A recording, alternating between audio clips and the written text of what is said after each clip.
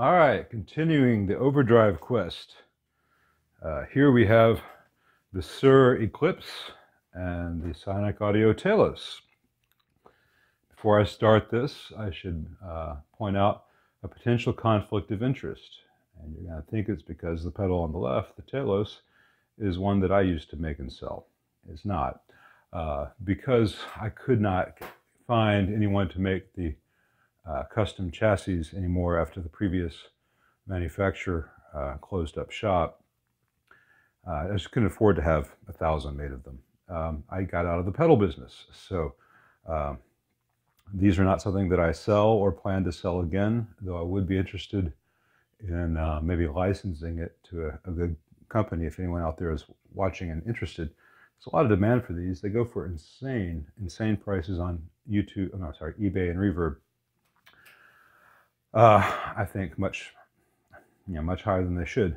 The actual conflict of interest is the Suhr, um, and it's uh, one where uh, John Suhr, uh, you know, we're friends, we're Facebook friends. Um, we don't hang out. He lives in California. I live in Memphis, but I've always really looked up to him. And when I started out doing this, he was very kind to me and took took a lot of time to give me tips and, and help me out. So I'm always inclined to like a Suhr product and to, if anything, I'm biased in Suhr's favor. Uh, I don't get paid to do this. If you like it or if you dislike it, uh, uh, you know, I, I have not even turned this on, so I don't know if I'm going to like it. But I am inclined to like uh, Suhr products, and many of his stuff uh, that I, a lot of his stuff that I've used is fantastic. Um, so if I have any confirmation bias, it's in the Suhr's favor here. I, you know, obviously like my own thing, otherwise I wouldn't have made it. Um, but you know, this is to show uh, two different dual boosts, so to speak. And I'm using the Les Paul into a deluxe reverb. And uh, this is none of this is paid promotion. None of the pedals that I have done in this little series have been sent to me for free. Neither have I bought them. I have a friend who owns a music store, so the ones i have been trying out are ones he has in stock and has been gracious enough to let me check out. One of the nice things about working through the shop and having that relationship is I don't have to test them out um, in the uh, in the guitar store. I can take them home and use them with my amps. But anyway, Les Paul Deluxe Reverb set clean. Here's the sound of the amp by itself. We'll do the Suhr first because Eclipse is alphabetically before Telos. And here's the clean sound.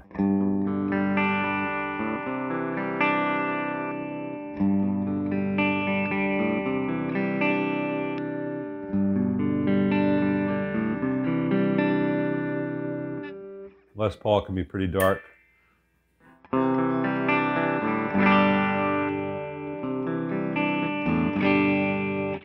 Let's start on the bridge. So there's a blue channel and a red channel, and I don't know what the difference is. Let's start with the blue, just in case it's lower gains.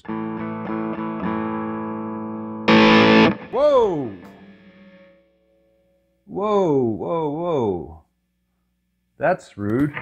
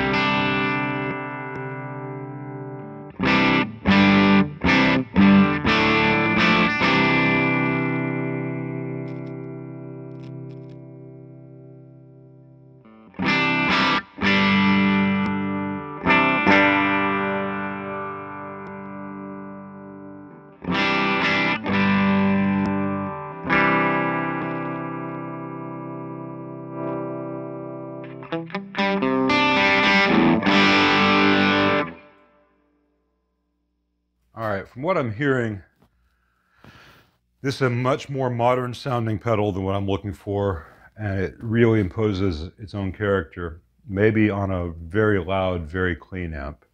Um, Fender Twin Suhr PT100 clean channel, maybe.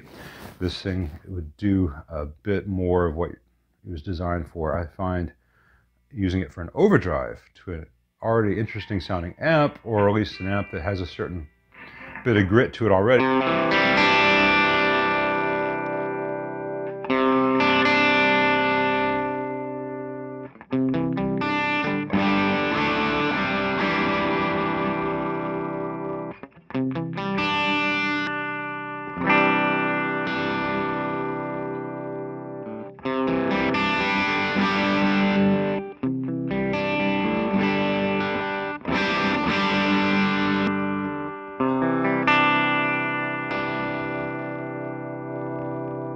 It's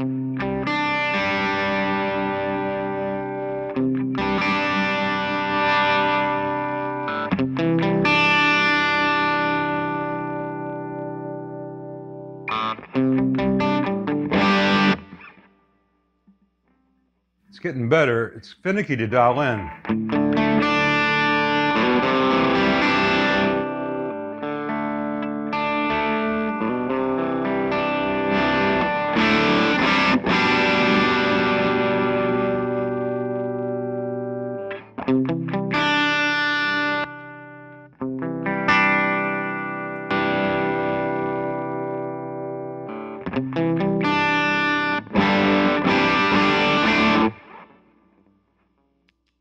I would still characterize that as more of a distortion pedal than an overdrive. Let's see what the red channel does.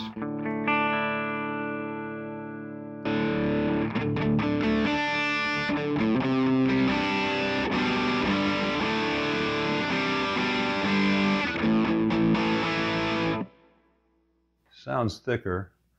Let's see if that's just the setting differences. What is the difference between the blue and the red? Again, I didn't read any of the literature or watch any videos on these things. I wanted to come to it blank slate.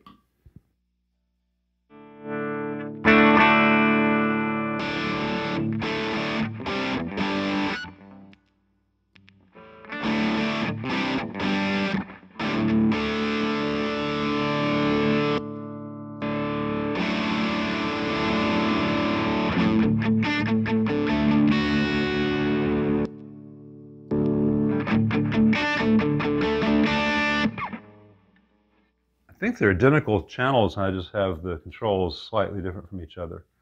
What happens? Can you stack them?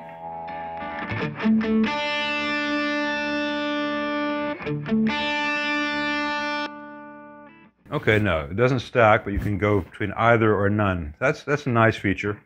So you could set, say, this one more as an overdrive, and this one more as a distortion, so.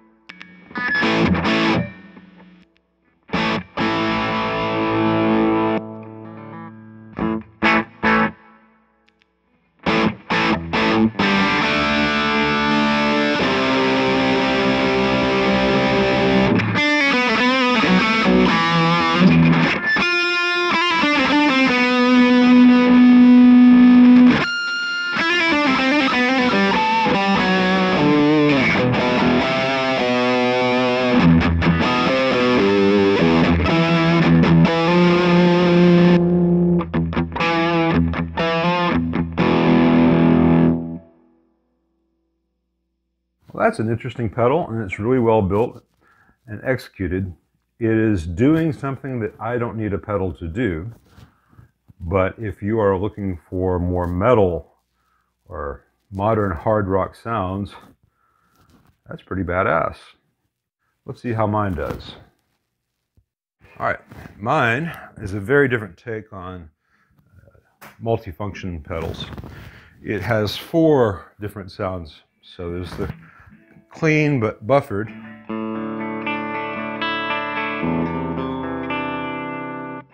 If this little push button is in, then it's pure gain, which is just an absolute clean boost.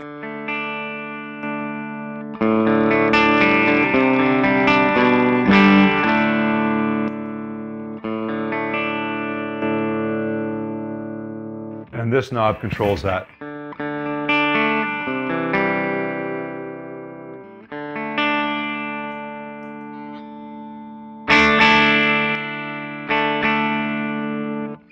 So that's as transparent a clean boost as, as I think can be made. It's very nice analog devices, op amps, uh, uh, the rail to, uh, 30 volts rail to rail uh, supply. Uh, this at no point does the uh, guitar signal ever pass through electrolytic. It's all film caps. If I take this button out, this goes into soft drive mode, in which case this doesn't do much. There's a little trim pot for dirt to adjust the level, and there's a tone and an output level.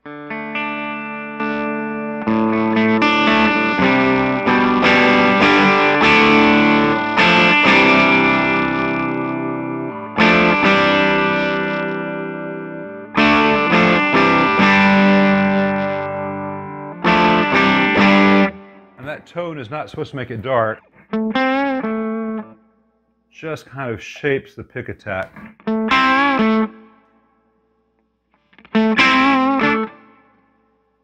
Now, if you have the drive side on and you turn on boost, it defaults to soft drive no matter the position of the switch. And I did that both to give a solo boost and also so that if you're playing a bridge single coil on a strat and you boost the gain, it, the gain will respond more like it has a humbucker from a Les Paul. This is a Les Paul, so that's not really that necessary, but let me show you the drive, which has two different voices and some uh, options.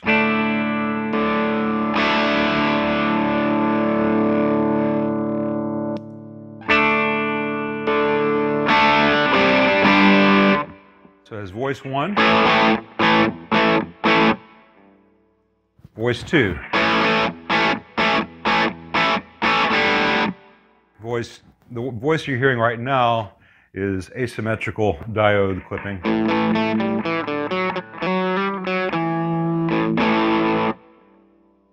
This is germanium diodes.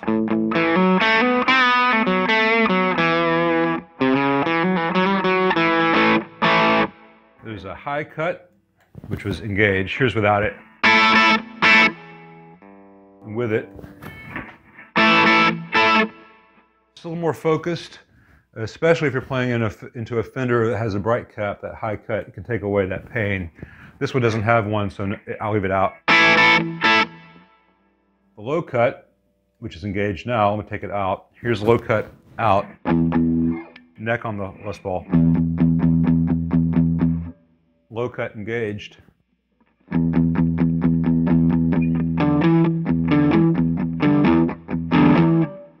Cut out.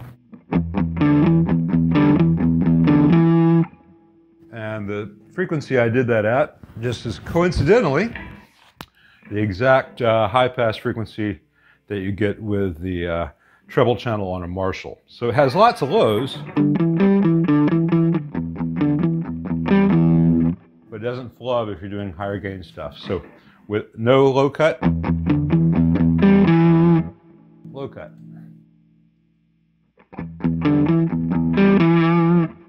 I turn the drive up, you'll hear the difference in the voice more. So.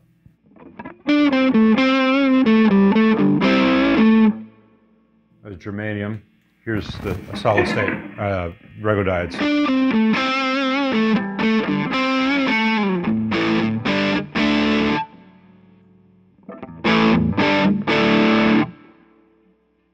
Really loud stuff, there's a difference in the harmonic levels and uh, how feedback and sustain works. At lower volumes like this, it's a, a mid shift that you mostly hear.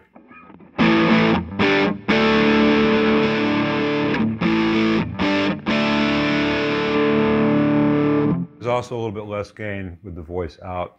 And there's a lot of gain here.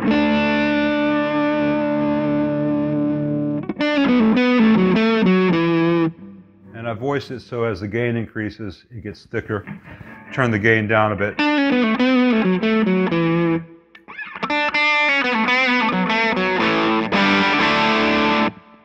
It's not quite as, as full. I want it to still sound like the amp that was being overdriven.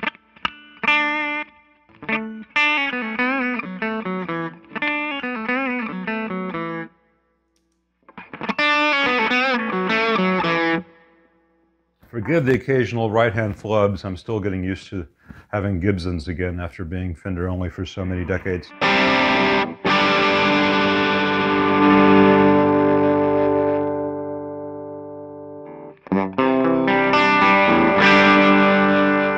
You can also use this just to boost the input of an amp with a low, low drive.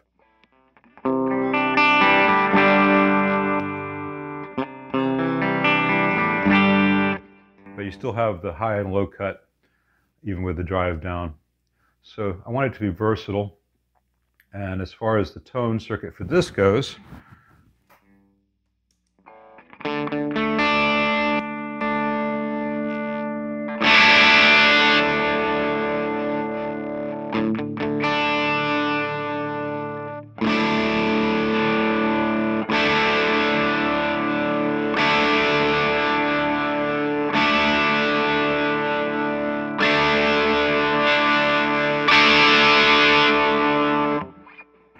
was never thrilled with the tapers available. I would like that to be a more graceful transition from the real bright stuff to the uh, more subtle stuff. Uh, but, you know, in practice, very few people want that. And there's a wide range of fine control in the sweet spot. And I didn't want it to go too dark because that's what you have these for on the guitar.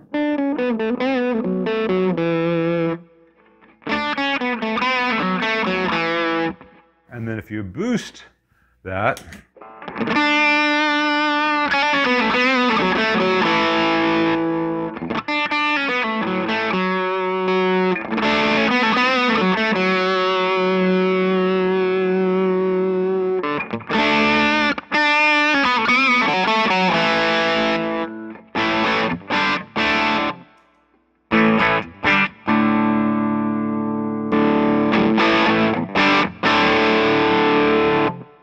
levels right, you forget where you're, you started from.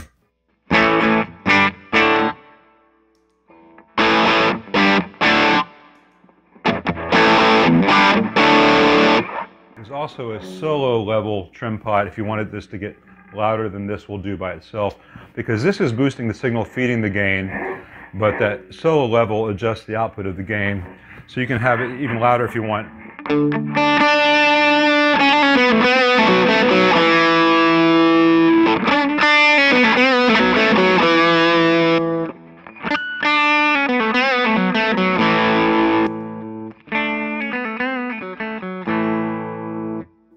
Have that solo boost by itself,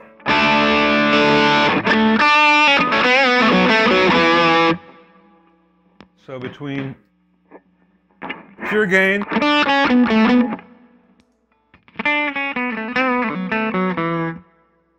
soft drive.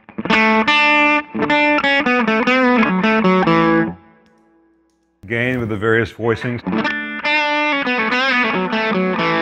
And boosted.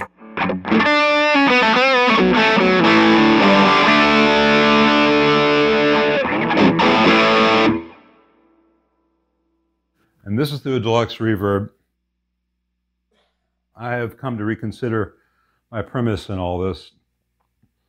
Um, I had forgotten how much I liked this pedal because I just haven't used it in so long. I, I, honestly got very discouraged about it once I could no longer get enclosures.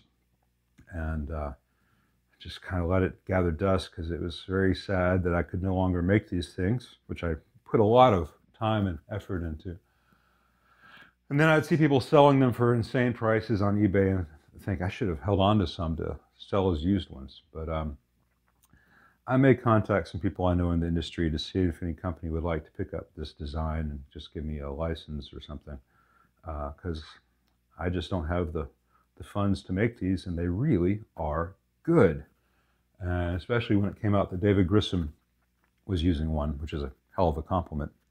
Um, people wanted them, and I just couldn't couldn't get the enclosures. So it's it's been a, a frustrating thing. I think for my own needs, I don't need another overdrive pedal. I think I need this, and I think I'm going to roll one of uh, the germanium treble boosters that I've made in the past. Here's what that looks like.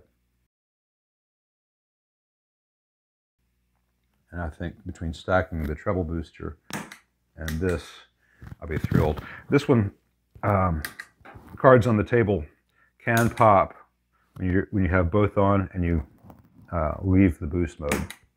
That's not that loud, but it's bothersome. If you have it in soft drive mode all the time, in pure gain, it can be a little bit louder. If you have in soft drive already, it's a little bit quieter. Um, but honestly, that's only happening when you're using both channels. And it's so loud that in practice,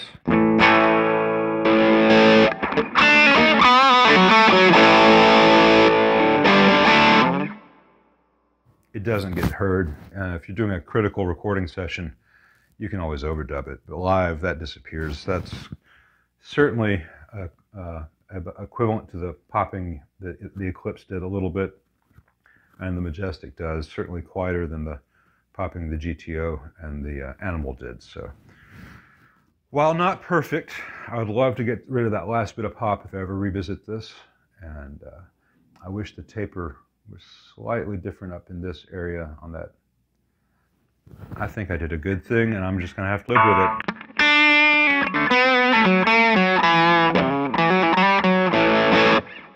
And it certainly works with Voxes and Marshalls as well.